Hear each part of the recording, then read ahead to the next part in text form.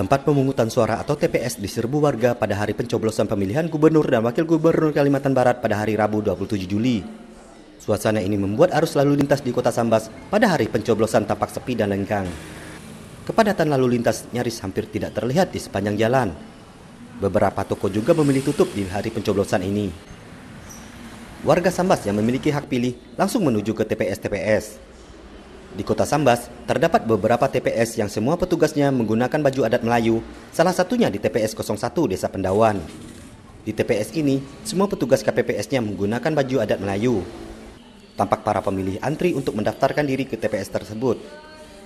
Salah seorang anggota KPPS, Barnizan menyebutkan bahwa tradisi ini sudah sering dilakukan di desanya pada saat pemilu. Walaupun tidak semua TPS, tapi dipastikan salah satu TPS ada yang unik, salah satunya menggunakan pakaian adat Melayu untuk melayani pemilih.